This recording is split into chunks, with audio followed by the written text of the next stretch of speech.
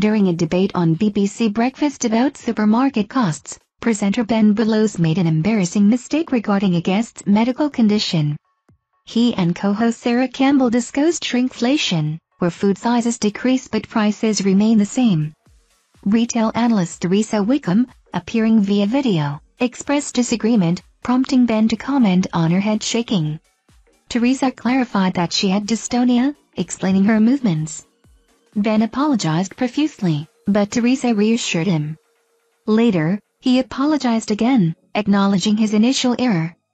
Teresa downplayed it, emphasizing her openness about her condition. Ben thanked her and expressed gratitude for the lesson. Dystonic head and neck tremor, discussed briefly, involves involuntary head shaking due to neck muscle contractions. The term dystonia can refer to various related conditions,